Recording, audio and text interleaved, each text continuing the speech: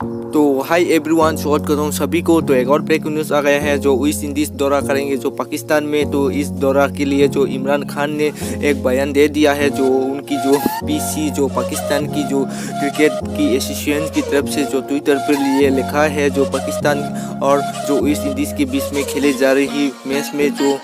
पाकिस्तान की जो फौजी है, वो यहाँ पर जो सुरक्षित करेंगे, यहाँ पर ड्यूटी करेंगे। साथ ही साथ जो वेस्ट इंडीज़ की जो होटल में है, इसमें भी जो पाकिस्तान की जो कमांडो है, यहाँ पर भी ड्यूटी करेंगे। ये इमरान खान ने ये बयान दिया है, जो साथ ही साथ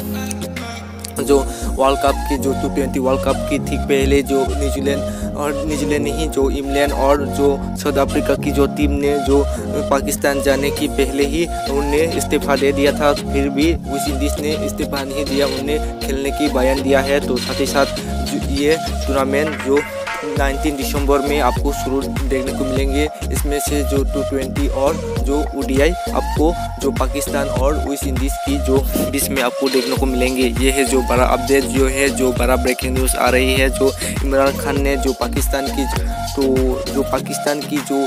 पीएम है, जो इमरान खान ने जो प्रधानमंत्री है, जो उन्हें ये बयान दिया है, जो ये कहा है जो वेस्ट इंडीज़ और जो पाकिस्तान की जो बीस खेले जा रही मैच में जो कमांडो है वो eight